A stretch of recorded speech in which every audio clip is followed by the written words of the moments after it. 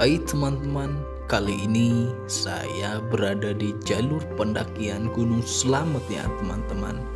Persisnya di jalur Permadi teman-teman.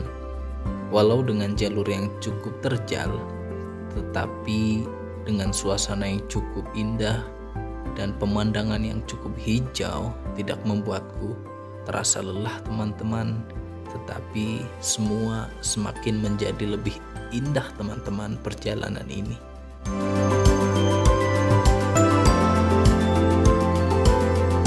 Nah, teman-teman, ini adalah pintu masuk menuju jalur pendakiannya, teman-teman. Kalian wajib tahu loh, di pintu masuk jalur pendakian Gunung Selamat ini ada satu tempat cukup keren, teman-teman. Nah, terutama sungai-sungai yang mengalir deras dengan air yang cukup jernih, teman-teman.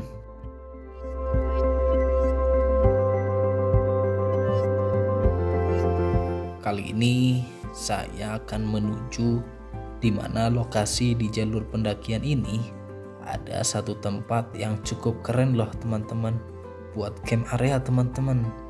Pokoknya dijamin deh. Kuy.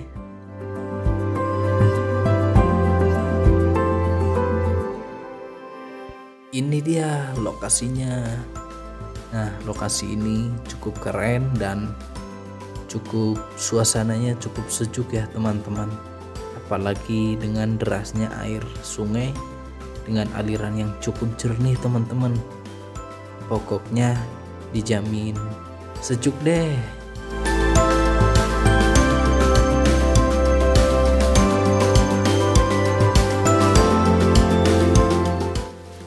Selain jalur pendakian yang cukup keren jalur permadi juga menyimpan satu keindahan yaitu aliran sungai yang cukup jernih teman-teman.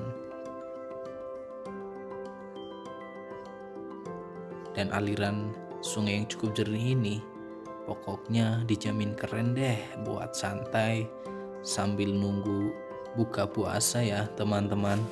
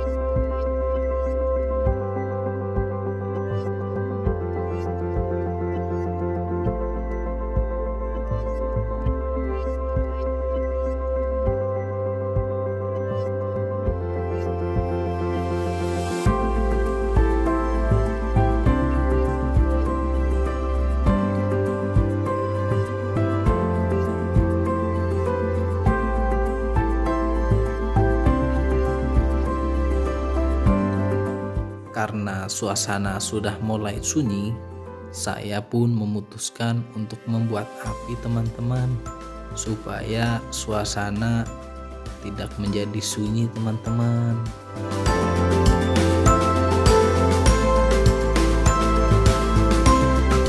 Nah, buat teman-teman, pada saat kalian berpetualangan, kalau kalian mau membuat api, pastikan area sekitarmu terhindar dari bahan-bahan yang mudah terbakar ya teman-teman. Supaya terhindar dari adanya kebakaran hutan teman-teman. Serta pastikan area tersebut aman ya. Dan jangan lupa teman-teman kalian cegah adanya kebakaran hutan teman-teman. Supaya hutan kita tetap hijau dan sejuk ya.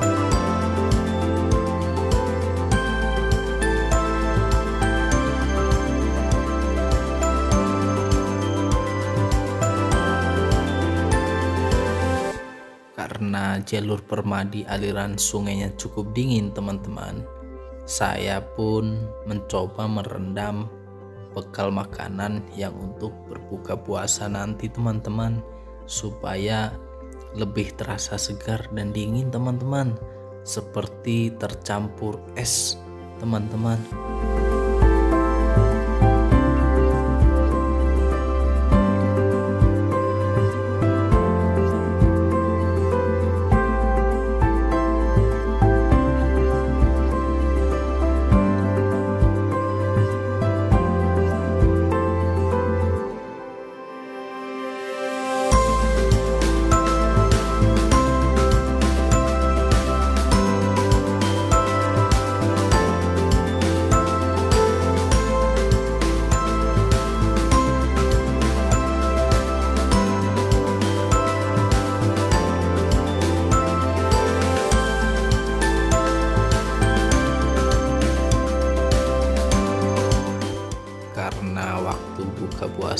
tiba, saya pun berbuka dengan sisa bekal makanan yang saya bawa teman-teman.